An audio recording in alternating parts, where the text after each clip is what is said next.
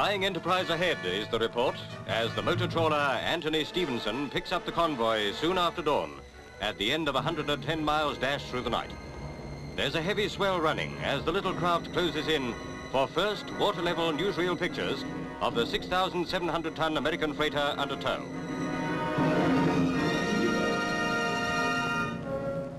To the lay eye, she looks flat on her side. In a storm of hurricane strength, part of her mixed cargo of antiques, pig iron and coffee is thought to have broken loose and slipped to her port side, causing her to list. When she cracked across the deck house and down her sides, water entered number three hold and over she went. This vivid picture shows the waves washing her boat deck. With his ship in this deadly peril, Captain Carlsen ordered his 11 passengers and crew of 40 to jump into the sea to be picked up. All were saved.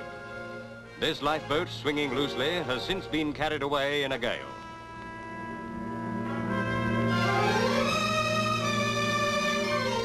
There's three quarters of a million at stake here. That she's kept afloat so long seems nothing less than a miracle. But with the other holes still intact, there's just enough trapped air to keep her floating. Across her bow runs the five-inch wire cable which Captain Carlsen and mate Dancy managed to drag on board and secure.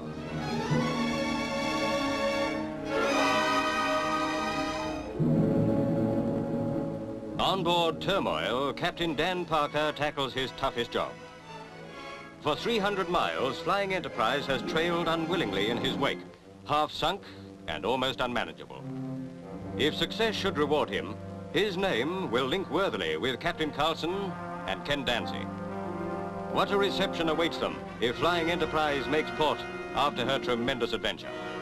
We had hoped to bring you pictures of Carlsen and Dancy, but they were too busy getting their ship ready for entering harbor at journey's end.